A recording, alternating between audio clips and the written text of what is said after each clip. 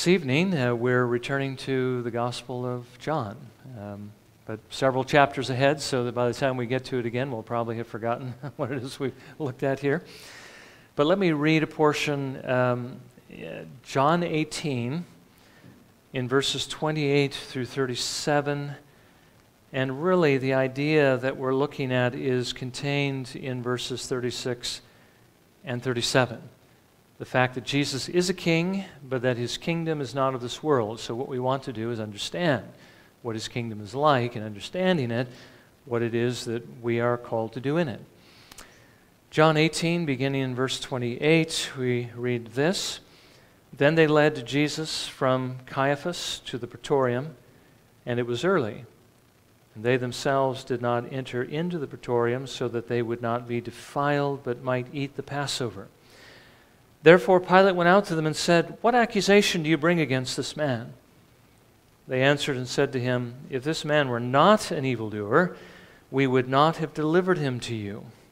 So Pilate said to them, Take him yourselves and judge him according to your law. The Jews said to him, We are not permitted to put anyone to death, to fulfill the word of Jesus, which he spoke, signifying by what kind of death he was about to die. Therefore, Pilate entered again into the praetorium and summoned Jesus and said to him, Are you the king of the Jews? Jesus answered, Are you saying this on your own initiative, or did others tell you about me? Pilate answered, I am not a Jew, am I? Your own nation and the chief priests delivered you to me. What have you done? Jesus answered, My kingdom is not of this world. If my kingdom were of this world, then my servants would be fighting so that I would not be handed over to the Jews. But as it is, my kingdom is not of this realm. Therefore Pilate said to him, So you are a king? Jesus answered, You say correctly that I am a king. For this I have been born, and for this I have come into the world, to testify to the truth. Everyone who is of the truth hears my voice. Again, may the Lord bless his word to our hearing uh, this evening.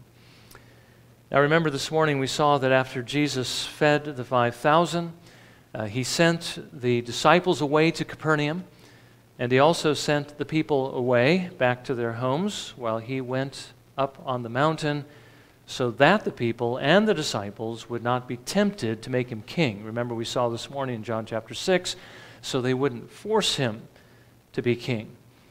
Now, Jesus, as we know very well, as we've just uh, read here, is a king. Uh, that's why he came into the world. Remember, Isaiah writes a passage that we read every Christmas season. For a child will be born to us, a son will be given to us, and the government will rest on his shoulders. And his name will be called Wonderful Counselor, Mighty God, Eternal Father, Prince of Peace. There will be no end to the increase of his government or of peace on the throne of David and over his kingdom, to establish it and to uphold it with justice and righteousness from then on and forevermore. The zeal of the Lord of hosts will accomplish this. Is Jesus a king? Of course, uh, he was born to be king. And I want you to notice a couple of things that this passage reminds us of there will be no end to the increase of his government or of peace on the throne of David and over his kingdom. And again, we've read about this in Psalm 72. But he didn't come, you see, to be the kind of king that the Jews were expecting an earthly political king that had come to help the Jews overthrow Rome. His kingdom was not of this world. Though, of course, in those days, as well as today, it would have influence over the kingdoms of the world, an influence that would gradually increase. There will be no end to the increase of his government. So, what I'd like to do this evening is simply consider two things the nature of Jesus' kingdom, and understanding the nature of that kingdom, then our role uh, in it. So, first of all, let's consider uh, the nature of Jesus' kingdom. And the first thing I want to point out, of course, is the fact that Jesus' kingdom is not like the kingdoms of this world. As we've seen, when Jesus was on trial before Pilate, he said in verse 36, My kingdom is not of this world. If my kingdom were of this world, then my servants would be fighting so that I would not be handed over to the Jews, but as it is, my kingdom is not of this realm. Now, Jesus is telling us that his kingdom is not what we usually think of as a kingdom. It doesn't have geographical boundaries. You, know, you can't go to a specific place in the world and look at it, it's marvelous buildings and so forth. It doesn't have political power. It isn't a government that is set up somewhere in the world that is legislating what we can and can't do, at least like the legislatures or the governments of this earth. And it doesn't have an army at its disposal, at least like the armies of the nations, like the army, for instance, of this particular nation. Jesus said that if his kingdom had been of that kind, of that nature, his servants or his army would be fighting for him to save his life so that he wouldn't be handed over to the Jews for execution. Now, you'll notice uh, I mentioned this morning the, the disciples had this expectation as well, and they still had it all the way at the end of Jesus' ministry just before he ascended. And I think that's the reason why Peter, on one occasion, made the mistake of taking up a sword to defend Jesus and cutting off the, the ear of the uh, high servant's, or excuse me, of the high priest's servants. Jesus told Peter to put his sword up, put it away. He healed the servant and he cautioned his disciples against advancing the kingdom by force of arms. By the way, that's a lesson the church apparently didn't learn, as the Crusades during the Middle Ages remind us. Now, if it isn't that kind of kingdom, what kind of a kingdom is it? Well, Jesus tells us that it is a spiritual kingdom and one that influences all the kingdoms of the world. It's not like those kingdoms, but it certainly does influence them.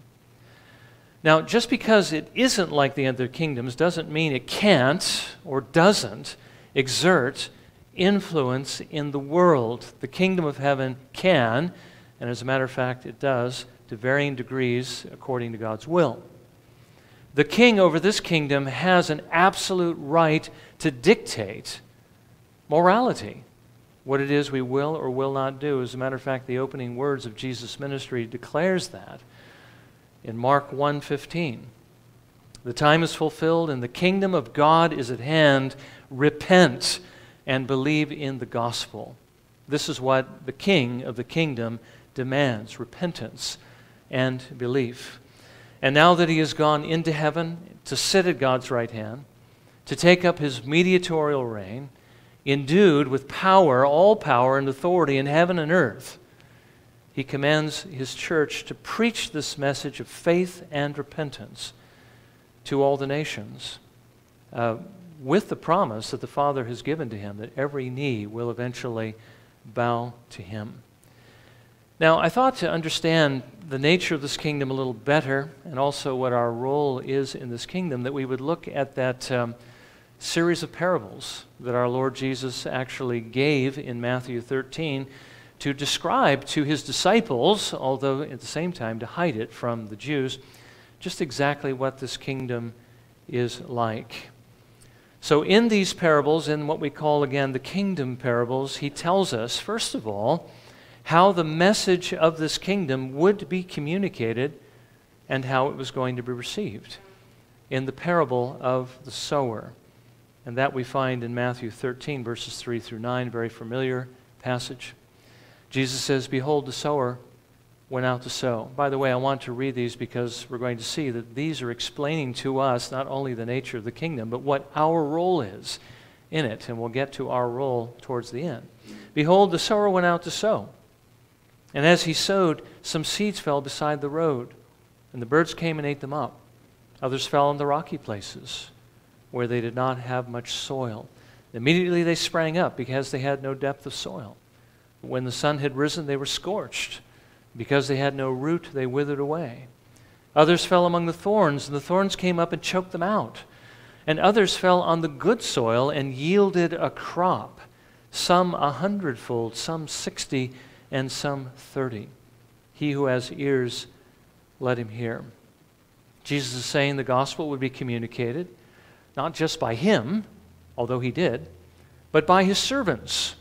And as they did, the results would differ according to the condition of the hearers. And of course, that's, well, uh, well, ultimately in God's hands. He tells us, secondly, that as his church would be about her work of spreading the gospel, the enemy would also be sowing his crop in the world, his children, in an attempt to thwart what it is that God was doing in the parable of the wheat and the tares in verses 24 through 30. Jesus presented another parable to them, saying, The kingdom of heaven may be compared to a man who sowed good seed in his field, but while his men were sleeping, his enemy came and sowed tares among the wheat and went away. But when the wheat sprouted and bore grain, then the tares became evident also. The slaves of the landowner came and said to him, Sir, did you not sow good seed in your field? How then does it have tares? And he said to them, An enemy has done this. The slave said to him, Do you want us then to go and gather them up? But he said, No, for while you are gathering up the tares, you may uproot the wheat with them. Allow both to grow together until the harvest. And in the time of the harvest, I will say to the reapers, First gather up the tares and bind them in bundles to burn them up, but gather the wheat into my barn. So basically, he was saying that there would be both true sons of the kingdom and false sons in the church and in the world until the end, when they would all be sorted out. Basically, um, he tells us not only there, but he also tells us in the parable of the dragnet in verses 47 through 50.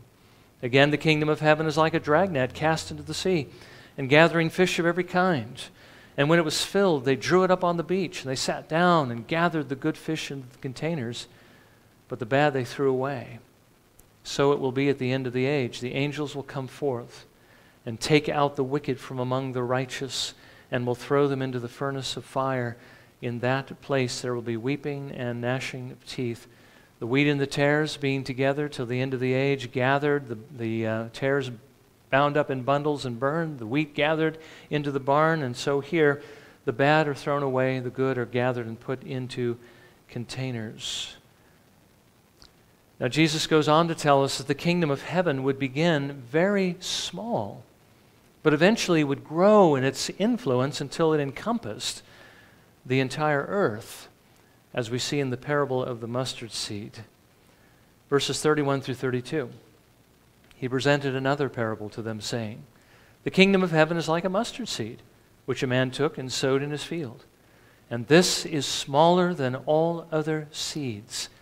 But when it is full grown, it is larger than the garden plants and becomes a tree, so that the birds of the air come and nest in its branches. By the way, I don't know if, if the, uh, yeah, see in, in the text, you'll notice the. Um, the, all caps. That's where the Old Testament is being quoted. And basically, in this illusion that Jesus is making to the Old Testament, he's drawing this picture, this image, from that which God used to picture Nebuchadnezzar's world embracing kingdom in the dream that he gave him just before, of course, he humbled him and, and made him as a beast for a while because he wanted him to realize it was God who did this. But this is what we see in Daniel chapter 4, verses 20 through 22, as Nebuchadnezzar's kingdom is being described, or basically Nebuchadnezzar himself, as he represents the kingdom, is being described as this great tree.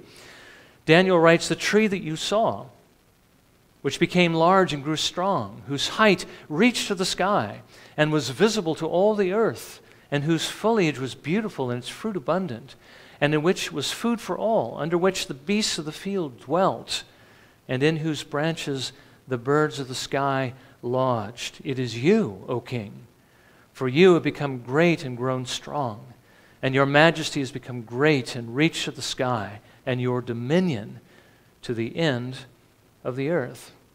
This idea of the birds nesting in the branches and the beasts or the animals dwelling under the foliage of uh, this great tree represents, uh, of course, the fruitfulness of the tree as well, represents the provision and the protection that Babylon provided because of its greatness.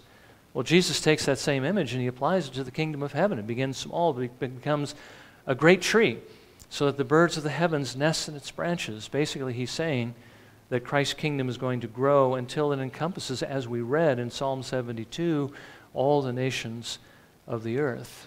We read also in Scripture that all the nations are going to flock, as it were, to the mountain of the Lord to learn the law of God from his mouth. Jesus tells us that the influence of the kingdom is eventually going to permeate the entire earth in the parable of the leaven. In verse 33, he spoke another parable to them. The kingdom of heaven is like leaven, which a woman took and hid in three pecks of flour until it was all leavened. So the kingdom of heaven is the leaven, and the flour is the world. And eventually, this leaven, which, as you know, is, an, is a permeating influence, is going to work its way through the entire lump, as it were, the three pecks of flour, until all of it is leavened. Basically, the kingdom of heaven is going to saturate the world.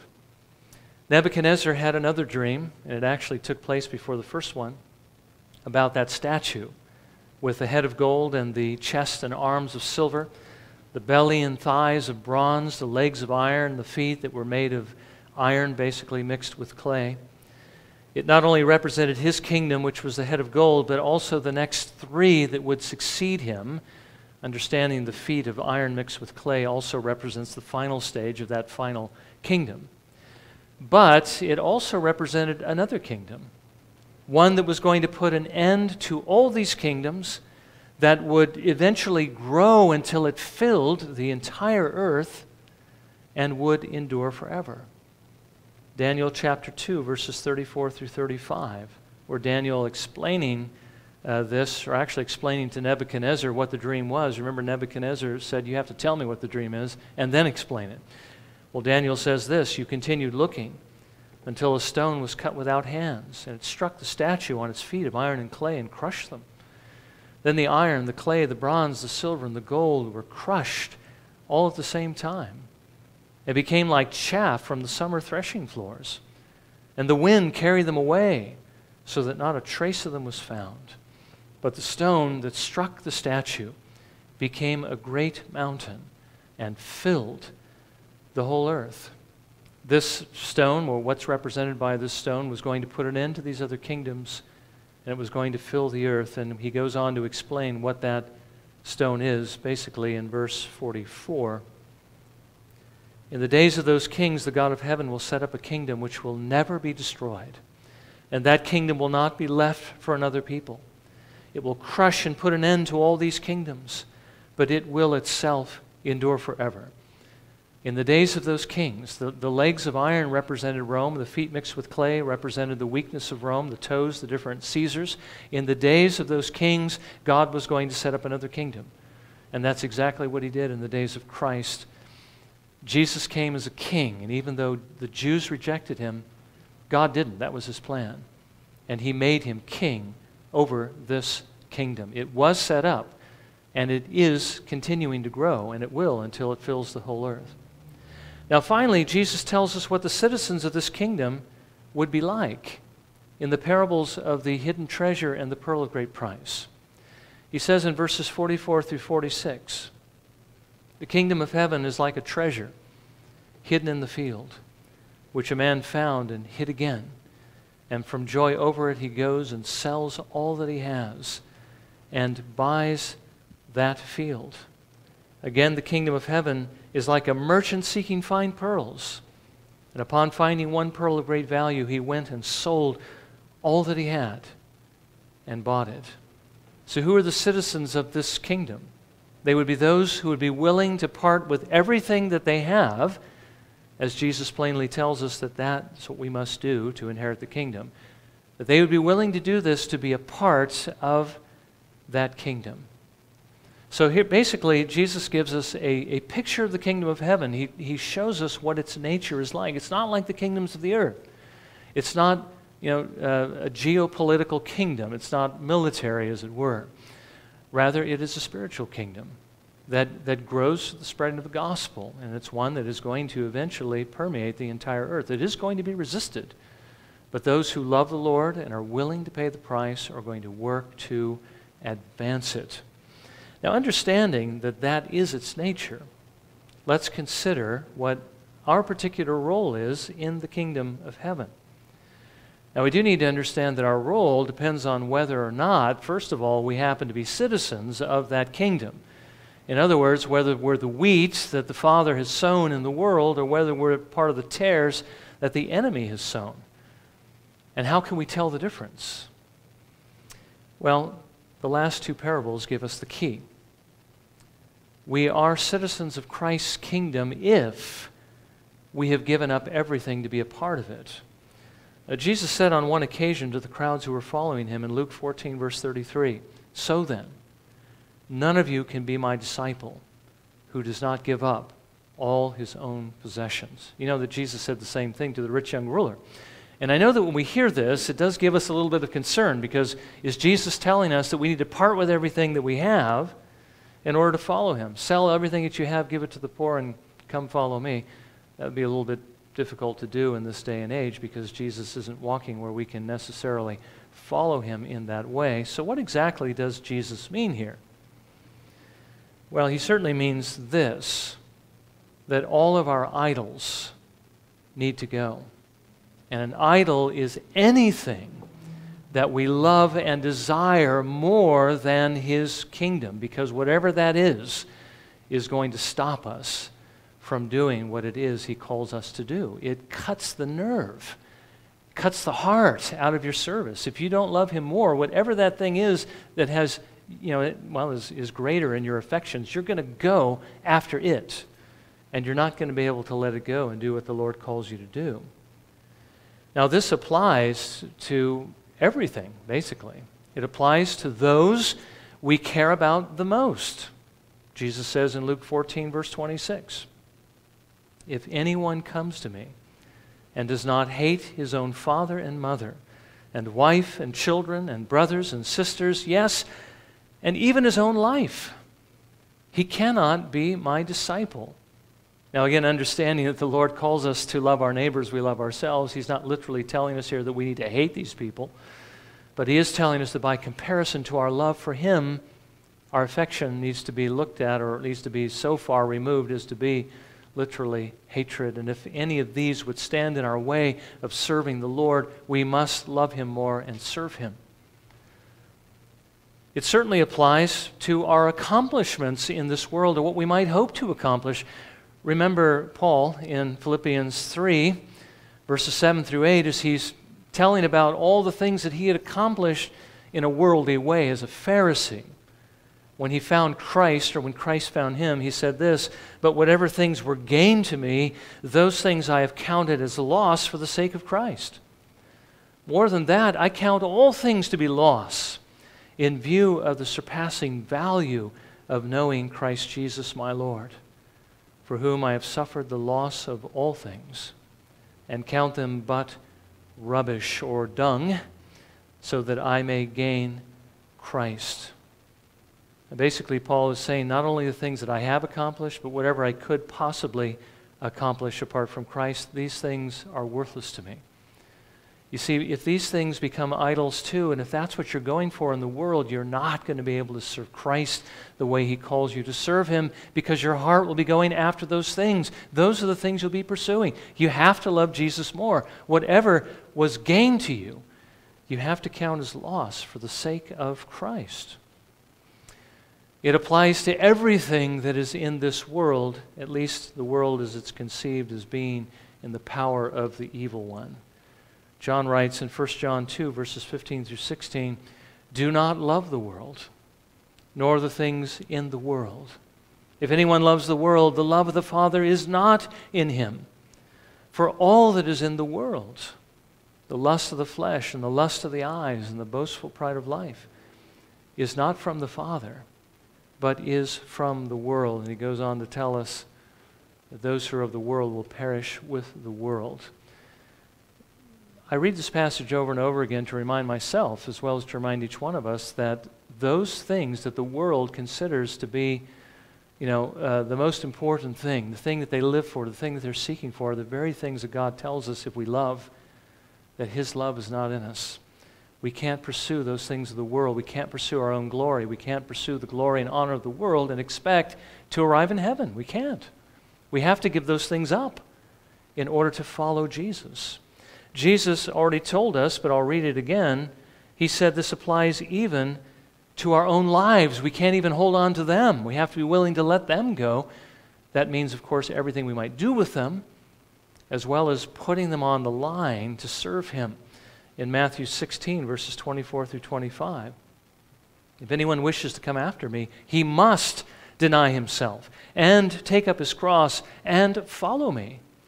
For whoever wishes to save his life will lose it. But whoever loses his life for my sake will find it. And again, Jesus means by that both of the things that I mentioned. We have to give up our lives while we're living to serve him. If we hold on to them, we will lose our lives. We won't inherit the kingdom because it requires the giving up of everything we have to the Lord. We have to pick up our cross and follow him but also it refers to whether or not we will hold on to our lives when serving Christ means we have to die for him. If we deny Christ to save our lives, he will deny us because his love is not in us. Now, we do have to modify that a bit. Certainly, there have been people who, in weakness, have denied Jesus, like Peter, who later repented. But if this is the nature of our hearts, to continually deny him, then obviously we cannot claim to be citizens of this kingdom because this is not the character of the citizens of this kingdom. The, their character is the willingness to give up everything to have that kingdom. That's how precious it needs to be.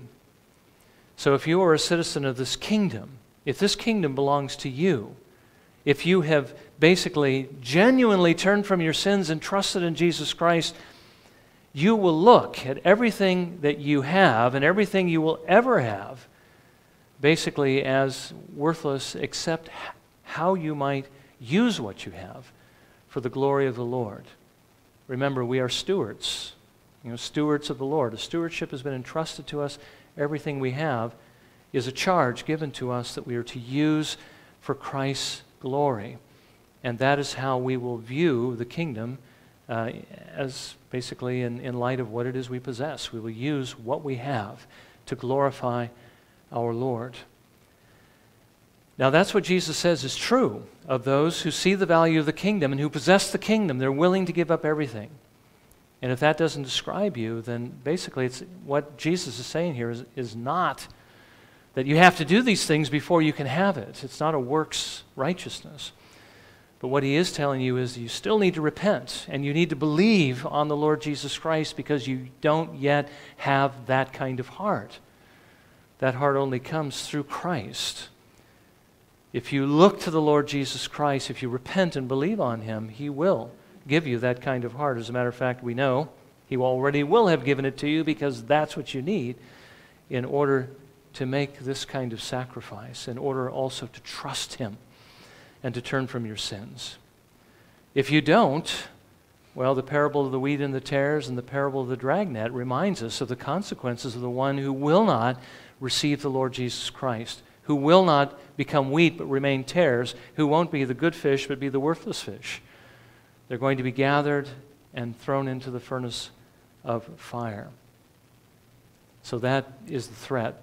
The fear of the Lord is meant to cause us to run to Christ so that we might be saved.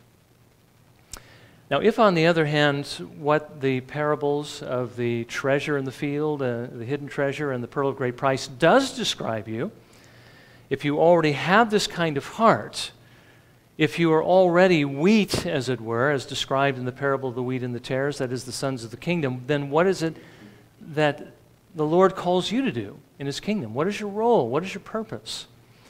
Well, here's where the parable of the sower comes in.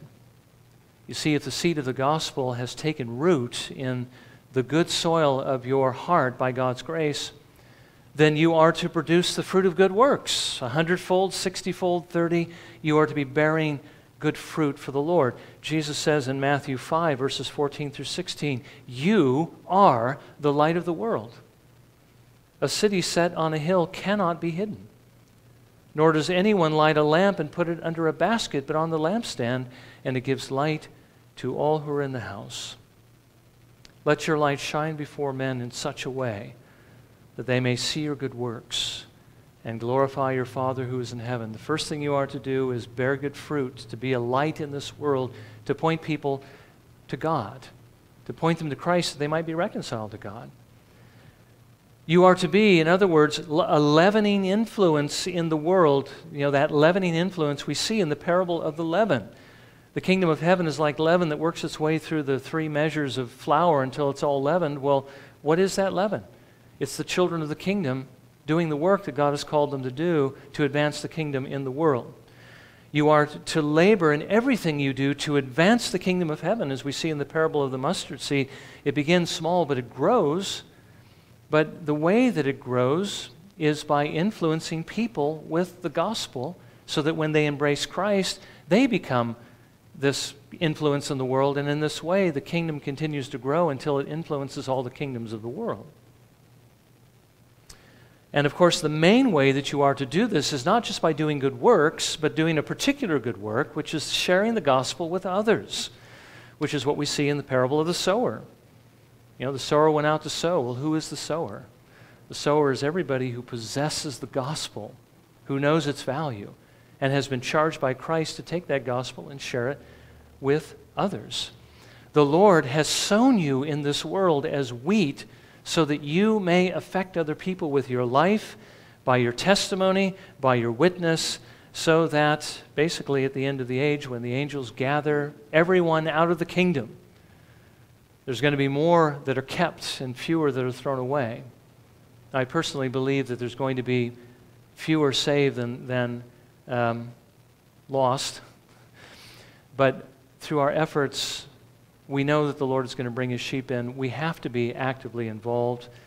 We don't want to, as we think about the plan of God, and we know that he has his and he's going to gather his, and there are a specific number of people and so forth, but we can't look at it as though it's divorced from our efforts. We have to get active. We have to be doing this work so that more will be saved, as it were.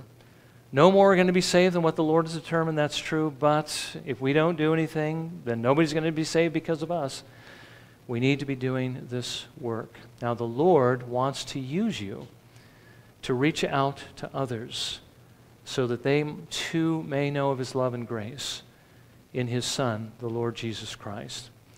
So, understanding the nature of Jesus' kingdom and the commission that he has entrusted to us what we need to do is everything in our power to cast as much seed of the gospel as we possibly can, as far and as wide as we can, while we have the opportunity that as many as possible might be saved. So may the Lord help us in this work. May He help us to tear down all the idols. May He help us to get focused. May He help us to know the nature of the kingdom and know what our responsibilities are in the kingdom. May He encourage us through the promises that He's given to us that in the parable of the sower. There's a lot of seed broadcast. Not everybody is saved, but there are those who are. And those are the ones that we are basically laboring for. Those are Christ's sheep, the ones He's going to bring into His kingdom. So may the Lord encourage us through these promises as well. And as we saw also in the feeding of the 5,000, the promise of reward that the Lord is going to give to us, that reward, the kingdom of heaven, and the rewards that are there should be precious enough to, to move us forward to do what the Lord has called us to do. So may the Lord help us to see these things, and may He help us to know our roles, and most of all, may He help us by His grace to fulfill them, to actually do what it is He calls us to do here. Well, let's bow in a moment of prayer and let's ask the Lord to help us to do this.